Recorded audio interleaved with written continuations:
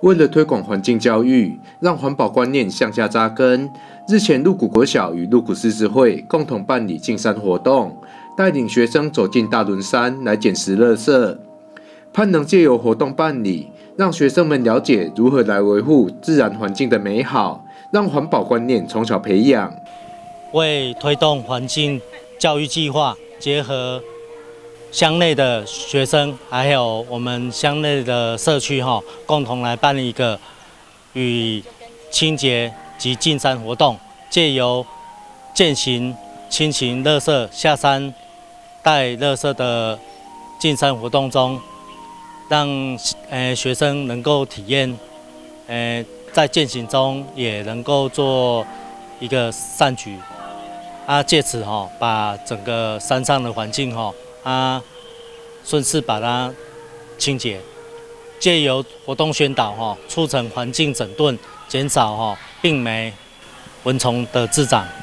啊，也非常感谢哈，诶，社区及鹿国小，还有我们鹿谷市子会来全力来来协助推动此次的活动。啊，非常感谢各位，也希望说能够令整个社区哈。更能够了解我们鹿谷狮子会的一个运作及善举。进山活动，这是我们狮子会的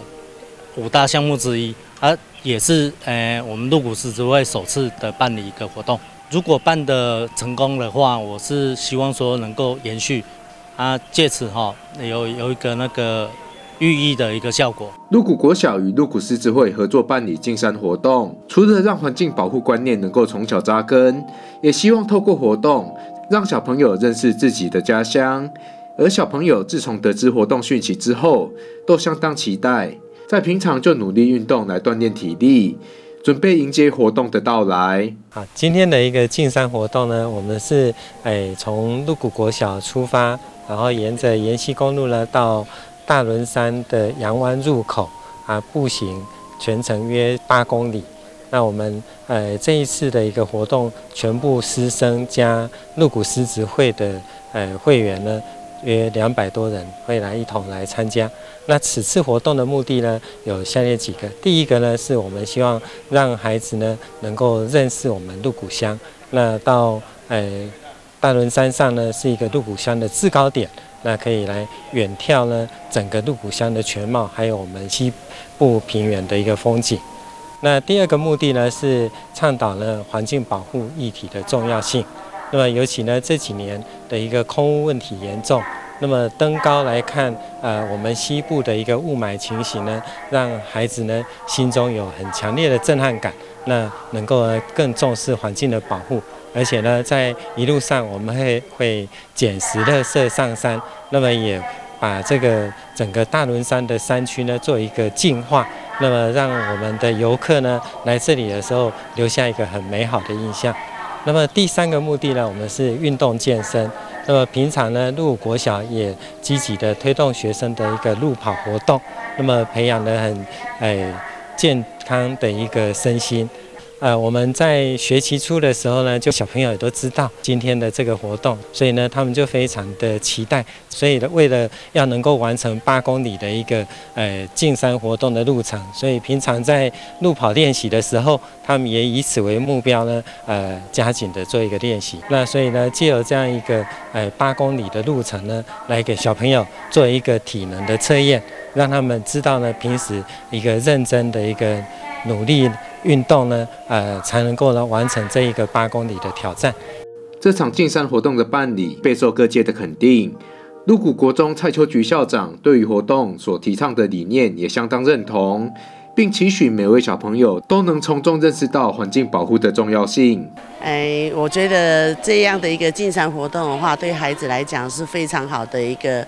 哎，活动，因为它有一个生态的东西，还有一个运动的东西，还很清楚告诉孩子，这个生态是我们自己的，我们把它弄干净了之后，这就是所有人的一个环境，那也给别人一个干净的环境，也还给大自然一个环境。那这样的一个生态之旅的话，我相信在呃这样的一个活动之中，它可能有一些引导，那例如植物的引导。或者是生呃要用植物的引导，或者沿途把我们不该丢的东西、人为的东西，把它给捡起来，给还给动物们一个干净的一个环境啊。那未来大概他就会落实他自己很清楚，这个环境不应该有的东西都要。哎，随时带走。那也呼吁我们所有的游客来到我们这样的山上的时候，把自己的垃圾带回山下去。而为了让学生们能够从小培养环境保护的观念，鹿谷国中在课程的规划上也是办理多场活动，带领学生们能够实际参与体验。希望他们能够从中了解到人文地理环境以及环境保护等各种知识。我们在国中的阶段的时候，我们会规规划我们附近的一个进山的部分。那我们国中的课程因为不太一样，没有那么多长的时间，整天的一个这样活动，我们会放在我们的格数录影里面的一个活动之中，还有我们的毕业旅行。像我们这一次申请户外教育里面，把我们到了南人湖，南人湖里是二十年后大概会。结束的一个生态，所以我们在活动之中也一样，诶，做生态的，还有进山的，还有一个诶，呃，我们有关于诶国中课程里面的所有的的内容。那么我们在之中，除了进山活动以外，我们还把我们的那个做成他们的简报，到山下的时候，我们就把它给诶，就是做简报。我分享给大家，所以在一个活动里面，它除了一个环境以外，它还有一个人文的部分，还有一个地理，还有历史的一个解说。所以一个呃活动的包装的时候，我们都会一是一整套的部分。金山是一个很有意义的活动，让小朋友们一同参与，也能让环境保护观念从小培养。对此，县议员许素霞感谢活动办理的用心，并呼吁社会大众一同来爱护自然环境。啊，环境整理大家有责哈。那台湾是一个美丽的宝岛，尤其南啊南投县在我们啊各个十三乡镇里面呢，每个地方也都非常的优美。那我们鹿谷乡呢，我们的大轮山在近这几年呢，也受到很多啊这些山友还是这些好朋友他们的一个喜爱。尤其大轮山上呢，真的我们的风景非常的漂亮哈。啊，有非常广阔的我们的茶园，还有我们的竹林，还有。各种的啊蔬果等等，所以受到很多的这些游客，他们也常常来到啊我们的大轮山来走走。那今天非常感谢我们啊鹿谷狮子会哈开通我们啊鹿谷国小哈，然后共同到我们的啊大轮山上做一个进山的活动。那进山活动是非常有意义的哈，因为现在啊有一些游客哈，还是一些乡民他的一个公德心还是不足哈，所以造成说啊山上遗留很多的这些啊垃圾等等，造成环境上的一个污染。那啊我们的鹿谷狮子会哈，它从去年开始就有一直在做这种教育的活动。那少海家马会雄刚下我们啊鹿谷国小我们的林校长哈。还有我们会长的一个相挺，尤其是啊，所有家长也都非常的认同。那教育啊，从小养成哈，那可以看到我们这些孩子啊，他们对一个环境教育的这种啊教导，他们都啊非常的啊欣然接受。尤其是每个孩子，他们对环境教育哈啊也非常的认同。所以非常感谢说啊，校长带领我们孩子啊，从小就让他们养成爱护环境、保护地球的这种活动。所以李家马会长刚下啊，今天所有以后的贵宾也希望说，我们大家一起来。爱护我们的环境啊，山上是很美，但是希望说你到山上走一走的时候，不要忘了把你的垃圾带回家哦。这次带领小朋友们前往大轮山来进山，小朋友们也是相当卖力的在捡拾垃圾。